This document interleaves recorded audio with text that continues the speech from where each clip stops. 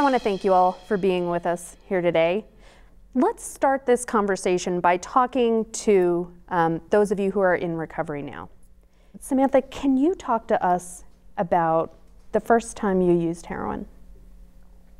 I was 20 years old and I I was just trying to get off of Oxycontin just because it was too expensive. I couldn't afford it. And I started doing heroin with my friend, and then it just kind of slowly progressed from, you know, spending $20 into spending $60 a day, and then just continued up to six grams a day. Was it fun?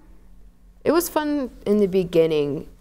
I guess, I guess the what, the way I consider it fun was that I didn't have to be conscious for any problems in my life, and the fun part of that was that my mind finally got a chance to rest, and I didn't have to worry about anything. Were there parts of it that were not fun?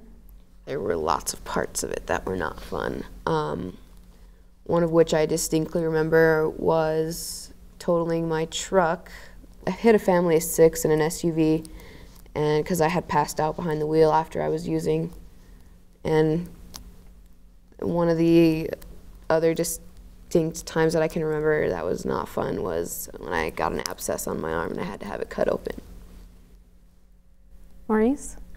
The first time I used heroin, I got it from my mom because I knew she had been using and I was getting sick. I didn't have any pills and I was sick and she gave it to me and it was none of it was ever really fun for me except for the fact that I didn't have to feel you know I didn't have to feel my problems I had I lost a sister to a methadone overdose and I didn't want to deal with that I didn't want to deal with life and so I I numbed myself and um, waking up sick um, that was the first time I knew that I was addicted was when I woke up sick and from then on it was just you know doing whatever I had to do to get to stay well to be able to not wake up or to be able to get out of bed basically. And it was probably the hardest thing for me because I didn't want to be an addict. I didn't want to use drugs. And I didn't know how to stop. I didn't know how to get away from it. I didn't know about um, the treatment facilities in the state. I didn't know that um, about any of the information. And um, it took my sister calling and um, telling my probation officer that I was in that I was using heroin for me to get a moment of clarity and for me to um, finally stop using. And I've been clean for 18 months. What does it feel like to wake up sick?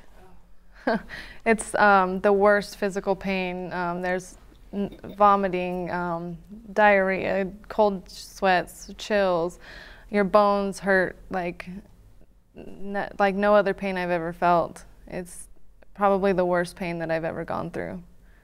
Um, I mean, withdrawals cause hallucinations and things like that, and it's terrifying.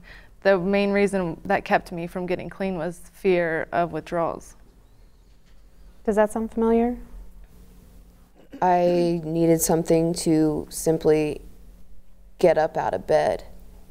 It wasn't like, oh, just let me wake up and let me go downstairs. It was, let me reach over to my heroin so I can sit up in bed and, you know, quit shaking and and you know, like she said it's the worst pain that I've ever felt. I couldn't do anything without first feeling normal by using heroin. It wasn't even about getting high after a while. It was because I had to use it otherwise I would get sick and it would it would just be horrible just like she described what I've heard is it starts with the pills. You know, first it starts with the pills and you snort them and then you smoke them. I mean, you can shoot pills as well. But for me, it went from smoking, snorting the pills, smoking the pills, then smoking the heroin, then shooting the heroin, and then mixing the heroin with cocaine and with meth and with whatever else I could. Is, is, does, is that what it sounded like for you? Yeah, it was easy for me, I guess, um, because I, I did it with my family. Um, both I did it with both my parents and my little brother, and we just like my parents didn't never wanted help, and so it made it really hard for me to want help. We got a lot of parents here today. I want to hear from from you guys about how you found out, how you first knew that something was wrong. Two days after Christmas, I had the police at my front door, and um, to, to let me know that my son had attempted to break into a house. And it took the police standing in my kitchen with my son at the kitchen table for a couple of hours before he finally admitted that he um, was addicted to Oxy. Um, you know, before that, I, he probably had about a year of, of using Oxy.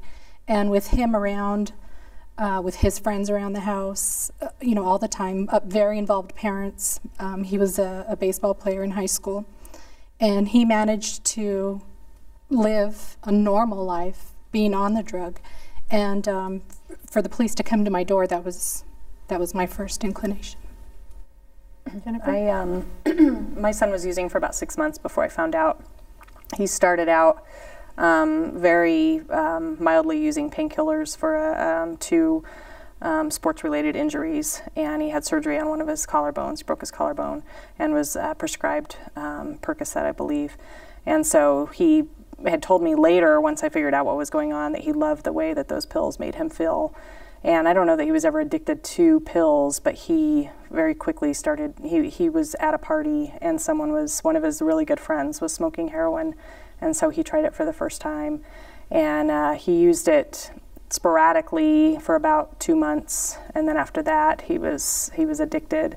So I found out about six months after he started for the first time, and I just found out um, because I knew something was wrong, and I kept trying to figure out what it was that that was wrong with him. And a lot of the warning signs were typical adolescent warning signs: behavior, disappearing for hours. He wouldn't return my phone calls. He was sleepy all the time. His sleep patterns were disrupted.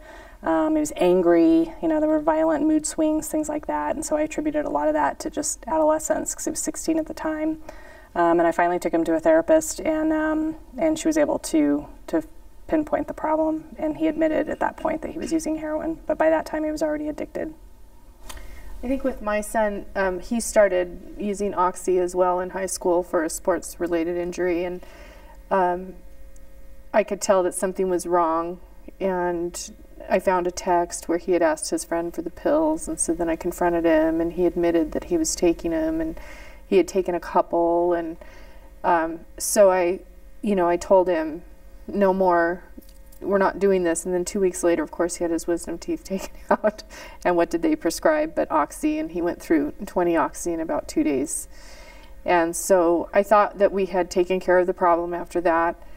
And and like um, Lou said, he you know he was active in school. He was a straight A student. He didn't have any of the warning signs. But the heavy use really started when he went down to college um, in Las Cruces and every time he would come home, we could see a very definite change in his personality. And we could not figure out what it was. And even after we, he got to the point where he looked like death's door, um, and we went down to Las Cruces to get him. On the way home, I still had it in my head that it was Oxy. And um, we put him in rehab, and it was, I think he had been in rehab. He had gone through detox and had been in rehab for two weeks before he, excuse me, before he finally came clean and said, I, you know, I was doing heroin. And I was like, I mean, really shocked me. Um, it was just not even on our radar. If he had said coke or if he had said meth, um, I think that I would have been less surprised. I was really just shocked. It was not a word that was in my vocabulary. It wasn't, it, you know, it was that dirty back alley drug. And I didn't even think you could get it anymore. Or if you did, it wasn't at a college campus. I think it's really just important to note that not all kids have the typical 10 symptoms of, you know, missing school and bad grades and change of friends. Steve, did your son show warning signs? I think, like Jennifer said, it, um, I, I, attributed a lot of his behavior to adolescence. Uh, I didn't have to really ask uh, whether my son was using or what he was using. He called me up one afternoon and said that he needed to go to the doctor, he wanted some help. And I asked him what it was about, and, and he just kind of confessed to me.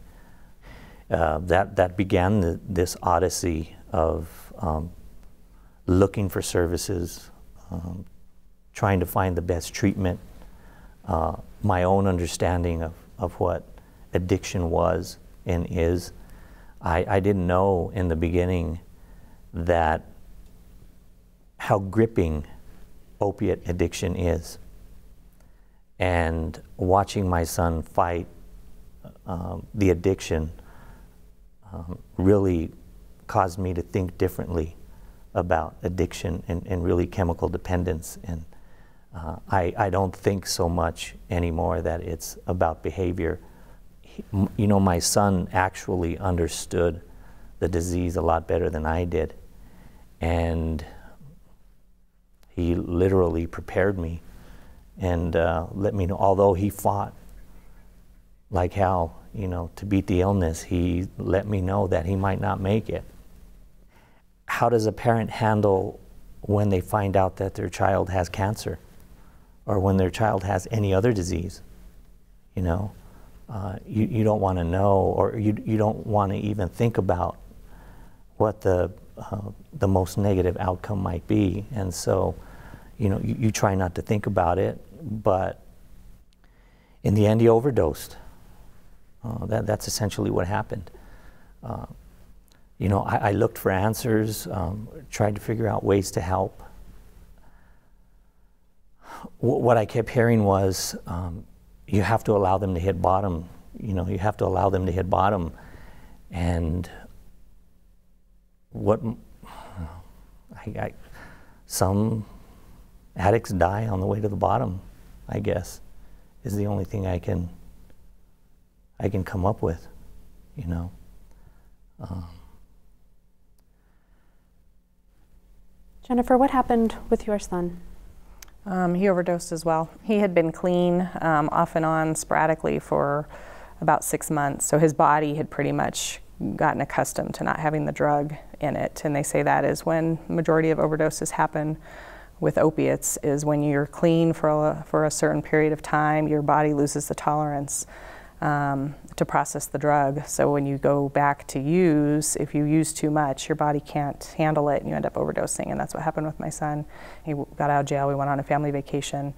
Um, we got back on um, Thursday. He went out with his friend Friday night and they used together um, and he died. I found him in his bed Saturday morning. He was dead. He died about 3.30 in the morning. That's a similar story. I mean, my son, he was in and out of treatment. Uh, he would be clean for a while, and uh, he, would be the the son that I remember. And uh, I guess that's the thing about heroin, or what I've learned about heroin anyway, is that an individual can use the same amount or the same dose, and then next day that dose will kill them. And I, I think that's what's so dangerous about it, is because, uh, you know, even on the day that he died, he was on the phone looking for treatment centers that could help him. And it was just a matter of, I, I, I guess he used once too many. It's like Russian roulette. They just never know. It's just that one time is all it takes, and they don't, they don't go out that night planning to, to die. I mean, you know, my son, when, when his friend dropped him off at the house at three o'clock in the morning, um, he said he was fine. He said he was, he was coherent, he was awake, he was alert, he was fine. And he didn't use it home. So he got home, and when he went to sleep, I think it just it slowed his respiratory system down because he had so much drug in his, in his, so much of the drug in his body, it slowed his respiratory system down, and he basically suffocated they cheat death several times before it actually takes them. My son's friend told me after he passed away how many times they had resuscitated each other and how many times they cheated death, that they, they knew what to do. I mean, they're very rudimentary things that they do, but they know how the drug affects their system. They know it lowers their blood pressure. They know it, um, you know, causes certain things that bring them to the brink of death. And so they splash cold water on their faces. They make each other walk around. Um, they, they do whatever they think they can do to, to bring each other essentially back to from the brink of death. I want to talk for a minute about, um, you know, what leads kids to do this. There are a couple different things going on. Right now, uh, the systems that support our kids, the systems that are, are there for them, are really stretched very, very thin. And many of the kids I work with end up feeling like they can't even get a teacher's attention, and what attention they get is negative. You know, a lot of the messages coming from our society are pretty heavy. The outcome of uh, a lot of young people's futures. What do I have to look forward to? Is the planet going to be there for me to live on in the first place? Can I get a job? Am I going to be saddled with debt out of high school, out of college? You know, will a high school diploma do anything for me? That and the fact that prescription drugs are the second most abused class of drugs, according to the to NIH, in the nation, right? And so again, you kind of add all that to the pot. You're feeling stressed. You're you're you're feeling like you don't know what to do with all the hormonal stuff that's going on or and someone says just try this. All you got to do is smoke it. It's, it's not going to hurt you. And you're there. And that instant gratification is so what we want when we're 15 16 17 years old. I also kind of think that it's become a, a party drug. You know, you, you hear of these pharming parties, and, um, and when we grew up, it was alcohol, maybe a couple people smoked. But, um, you know, for Michael, it was someone just offering him an oxy and he took it. And he took it with some other friends, and he was the only one that really liked it, and the others, you know, didn't. Um, so it's a new generation as well because you know a lot of these kids were in private school so their classrooms weren't overfilled they had 15 kids in the class so you know i think there's a whole generation of you know both of our boys were the athletes and um, injuries were involved and then that one pill was introduced to you and then he, you know michael had an injury so he had access to two refills of oxy from a knee injury um, I just also think it's the new party drug. It's not sometimes just to escape or to feel good. I think it's just if you're predisposed to be an addict and, and you're offered and you like it, you know, you can come home, you don't smell like you've been smoking, you don't, it's not like you're drunk, so you, you're able to come home and function and your parents don't know that you're um, using Oxy. You know, my son did that for over a year. It creates its own cycle, right? Because even if they don't come to it from that more negative way, I think what happens, and, and you guys can confirm or disconfirm this, but I think what happens for a lot of young people is no matter how you get there, you use, and then everything goes away. Right? And if you end up noticing that you really like that, you you got those two people on your shoulders, right? The one person saying, "Wow, that was cool," and the other person saying, "Dude, you can't do that again. That's not going to work out for you." And you so taking it again makes that guy go away, mm-hmm. right? And so before you know it, you're struggling with needing to check out just because dealing with the reality. You're either you're either worried that it's going to hurt like hell, or you're worried that um, the people in your life are just the bottom's going to fall out for them. Well, that and being an addict, like once I put one substance in me, my brain is wants more and more and more and more and more, and it, it doesn't stop until it gets it. You know, I have a, when like I take any substance, whether it be drug like alcohol, heroin, methamphetamines, or anything, the obsession like is almost like overpowering to where I have no other choice but to do that. Well, then I agree with um, Meg in the fact that my brain keeps finding reasons for me to be able to use a different drug or to go explore different drugs because suddenly I've lost that fear that I will die you know, being a teenager hasn't changed that much over generations and that it's always a time of a combination of joys and miseries, you know. Things are really fun and things are really terrible and and we often want to escape from that. But what has changed dramatically, Dr. K, is the prescription drugs that we've got in our parents' medicine cabinets. I don't think pharming was um, unfamiliar to kids in the 90s or in the 80s, but what they farmed was different. Am I right? yeah, I think that's right. Yeah, there's been um, just a, an explosion in prescribing of opiate pain pills in this country, and the overdose rate parallels it. If you look at the, the graph of how opiate prescriptions goes up, overdoses are right there. So this isn't a, a foreign or imported problem. This is a domestic problem, and I think it goes back to um, in the 90s, there was a huge push in the world of medicine to define pain as something that had to be treated at all costs in all cases. And it came from a very good, um, beneficent point of view, wanting to get rid of pain and help people who are in pain.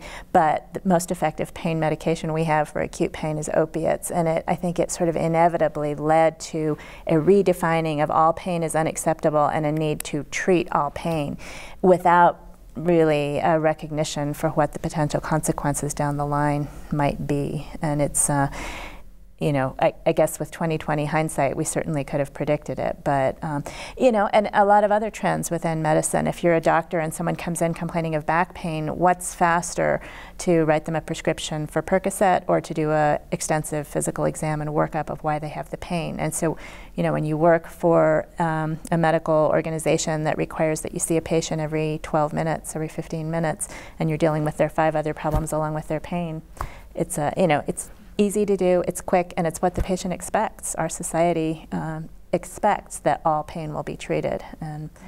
we've just created a horrible mess. Is there a way out of that? Well, I think what we're doing today is an attempt at that, at redefining, um, helping people to recognize the risks of what we've created. And I think you have to create awareness before you're going to create any kind of political will for change. Um, I think that's, you know, that's the work that all of us are engaged in is trying to say we need to stop and take a cold, hard look at what's going on here and make some radical changes um, to try and get a handle on this problem. So, you know, if you have, if we're talking to parents who have kids who are athletes, who are, you know, breaking collarbones, do you recommend that parents talk to their kids about when they're in the doctor's office? Do you really need this pain medication? Well, I think that's that is an appropriate step to sort of say, do we really need a prescription for an opiate for whatever this problem is? Um, I think many parents have no idea that what's being prescribed for their kids are addictive drugs that are essentially heroin in a pill. Um, I think many kids don't know it, although more of the kids know it than the adults do in this climate. Um, and I think physicians are incredibly irresponsible about the quantities and the number of refills that we prescribe. Again, not through malice. I don't think anybody's out there saying, oh, I'm going to get some kids addicted today. But it's just become kind of a knee jerk part of our society, our expectations, the way we approach pain and medical problems. Just take a pill, it'll take care of it. I have a colleague who went to the urgent care for strep throat and came out with prescription strength Tylenol and antibiotics and 20 Vicodin. You know, there's there's some fear that was created back when um, the the organization that accredits healthcare institutions, JCAHO, said in the late 90s, early 2000s that we had to treat pain, and in fact, physicians were getting literally sued for inadequate pain treatment. Pain became defined as the fifth vital sign that you need to ask every patient, do they have pain? And whatever that pain is, you got to take it down, you know, down to zero. And I mean, how else do you do that? It's out there. It's in. It's in so many medicine cabinets. You can go to anybody's house and look in their medicine cabinet, and you'll see something. What do you think needs to change? They need to have some sort of process or some sort of something in place to where it's harder to get prescription drugs because it was so easy for me to go to a walk-in pain clinic or to go over here and see this doctor and get multiple prescriptions at once. They just give you what you ask for. We need to target people at a younger age because a lot of people that I know in recovery are 15 and 14. Yeah. Reality-based education is so critical. You know, we have to respect our youth and give them the support and the services and the information and the knowledge to make informed, safe decisions. This is a, a public health issue. I mean, we, we are losing kids at a rate that far exceeds, at least from my observational experience, I won't quote anything here, but that far exceeds the flu. And yet, can't go into a middle school and present uh, a reality-based edu education program and not have the about heroin and opiates and not have the parents go, "Oh my God, what are you teaching my kid?" Quite honestly, if somebody said, "We're going to come talk to your little fourth grader about heroin and opiate addiction," um, the old me would freak out. But I think the reality is that we have to be candid and we have to talk openly and we have to educate the kids and the families because the families don't know what to look for. I had no idea. Yeah, it's, I mean, it's a huge conundrum to figure out how to do effective education around this because it, there is a whole element of, you know, the more scary you make it sound, the more attractive it is. But I guess I just really want to echo what Emily said that I think that the evidence that there is out there suggests that real, honest, open discussion, not just of the you know the harms of the drug, but the legal consequences. I think sometimes that can make an impact on um, young people when they really understand, you know, how few steps it is between here and jail um, when you're involved with these drugs. That and then a, a, lot of kids don't understand that once you have a felony on your record, you know, no one's going to rent to you, no one's going to hire you. The most likely next step is to go back to prison back to what um, Dr. K had said, you know, we're, we created the society that it's okay to pop a pill for everything. And now the result is all of these kids are addicted to this drug that they have no, um, no idea what it does to their lives or families' lives. And, and then once they're in it, it's so, so incredibly hard to get out of it and to proceed with their normal life. Well, let's, let's bring in the other group and we'll start talking about some solutions.